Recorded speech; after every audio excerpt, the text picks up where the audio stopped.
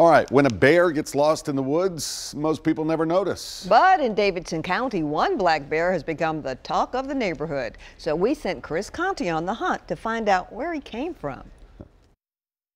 What makes this bear sighting so unusual is that Middle Tennessee doesn't actually have a bear population, but whoever this guy or girl is has apparently made themselves at home.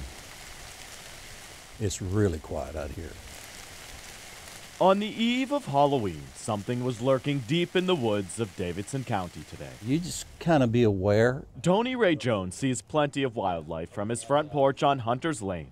Ironic, perhaps, that the entirety of this street is on the hunt to catch a glimpse of their new neighbor. When you go to look for the bear, it's never going to be there, you know. Bear with Tony here. He hasn't seen it himself, but trail cameras this weekend captured the black bear on the move in Nashville all alone. Normally, wouldn't they go in like pairs? And I don't know.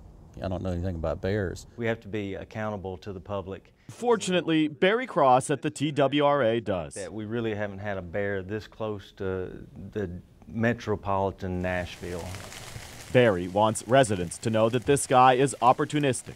Open trash cans or dog food left out, he'll find it. He's doing bear things. He's uh, staying out in the woods. Uh, he's not uh, uh, obviously coming in contact with people. To us, the bear might seem lost, but to the bear at this point in the year, he's just looking for a place to hibernate. Bears don't know county lines, they don't know state lines.